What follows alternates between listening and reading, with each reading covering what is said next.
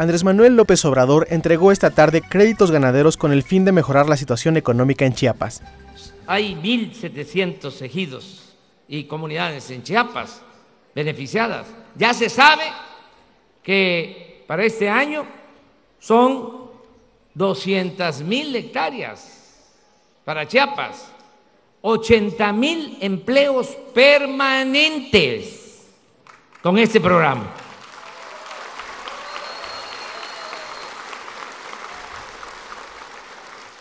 Pagando jornales de 5 mil pesos mensuales.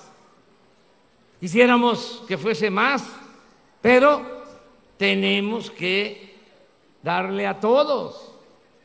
Y 5 mil pesos mensuales consideramos que para empezar no es despreciable, porque sin estos apoyos no habría quien tuviera para pagar un jornal, no porque no quisieran, sino porque no hay beneficios, no rinde lo que produce el campesino. Tiene que vender barato todo lo que produce y comprar caro todo lo que necesita. Entonces, por eso el apoyo. No es como era antes. Te doy la matita para que siembres. Ahí quedaba la mata en el solar, en el patio, porque con qué iban a sembrar si no había apoyo. Ahora, ¿quiénes son estos 80 mil que van a trabajar sembrando en ejidos, en pequeñas propiedades? Los hijos de ustedes, los que muchas veces por necesidad tienen que irse a buscarse la vida a otras partes. Ya no, seis años mientras estemos nosotros y además estamos garantizando un año más porque se va a quedar un fondo para que cuando ya no estemos haya un año más de pago de jornales, siete años. Ese es el plan.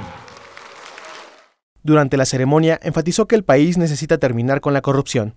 Ahora tenemos que unirnos. Si queremos pelearnos, si nos gusta el pleito, si somos pleitistas, hay que pelearnos contra la corrupción. Vamos a acabar con la corrupción, con la impunidad, porque de esa manera vamos a liberar muchos fondos para el desarrollo de México. No hace falta, ahora estoy más convencido que nunca, no es necesario aumentar impuestos, no es necesario que haya gasolinazos, no es necesario endeudar al país, nada de eso. Solo depende de acabar con la corrupción y con la impunidad, que no se roben el dinero del presupuesto, que es dinero del pueblo. El mandatario insistió sobre la importancia que tiene la ayuda y la participación de todos los mexicanos para que la cuarta transformación sea posible. Y que todos ayudemos, que todos participemos. Yo no podría solo. Esto no es cosa de un solo hombre, de un dirigente, de un presidente o de un puñado de servidores públicos. Esto es asunto de todos. López Obrador recalcó que la atención al sureste del país es primordial debido al rezago en el que yace. Avanzó el norte, le dieron muchos apoyos al norte, muchos apoyos al centro del país y dejaron en el abandono el sureste.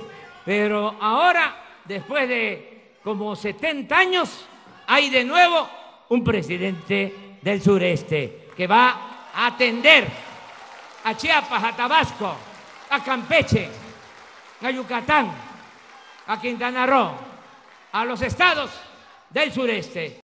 Notimex.